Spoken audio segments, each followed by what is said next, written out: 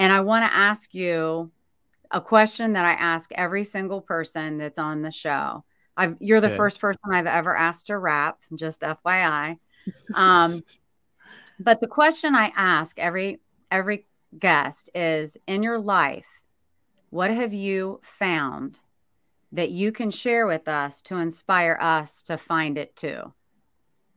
Become the life you want to experience. A lot of mm-hmm. people want to attract a reality that they are not. And Ooh. if you try to attract a reality that you are not, you're going to continue to feel like manifestation doesn't work. Instead of trying to attract something, become something different. You have to become a different character. You can't continue to wear the uniform of a victim and expect to be a hero. You can't continue to see yourself as someone who is poor and expect to attract money.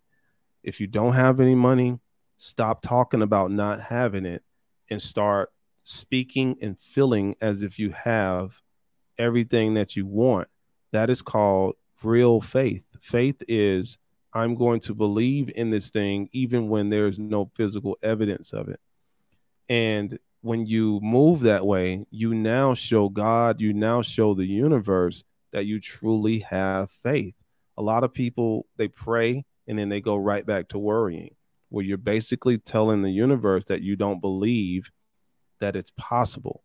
But you have to become that person. You have to become a new person. Literally, like for instance, imagine that you are being hired to play a role in a movie and they say to you, hey, in this movie, you're going to play the role of a police officer. But then when you show up on set, you're dressed like a fireman. That's a mismatch. You need to wear the uniform of the reality you want to attract. Become that in the way that you think, the way that you speak, the way that you dress, the way that you feel. And you will literally start to become that because life is a mirror and it's going to reflect back to you who you are showing up as. And that that's that helped me because after like a year of being happy and jolly i'm like i'm still broke. I i needed to become a millionaire before it ever happened. I needed to become a money magnet mentally spiritually. I need to be grateful and that's what really helped me out because that gave me the fuel to take action on my dreams every single day. Oh. Mark Rodriguez, what's up, Mark Rodriguez? Mark Rodriguez